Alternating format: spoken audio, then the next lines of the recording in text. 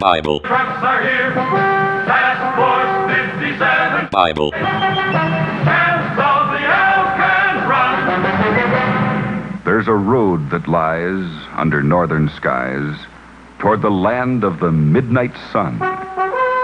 It crosses the crest of the great Northwest, and it's known as the Alcan Run.